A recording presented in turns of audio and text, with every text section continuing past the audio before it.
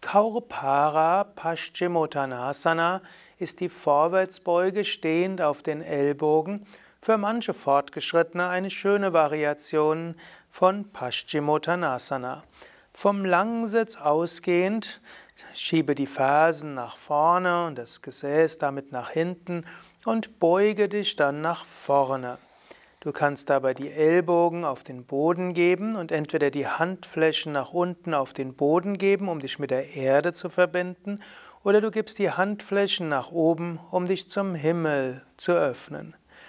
Du kannst auch die Ellbogen auf die Knie geben und die Unterarme auf die Schienbeine, was manchmal für Menschen, die eine gute Rückenflex gute Flexibilität haben, aber merken, wenn sie die Stellung länger halten, dass es die Rückenmuskeln verspannt. So ist das eine gute Alternative.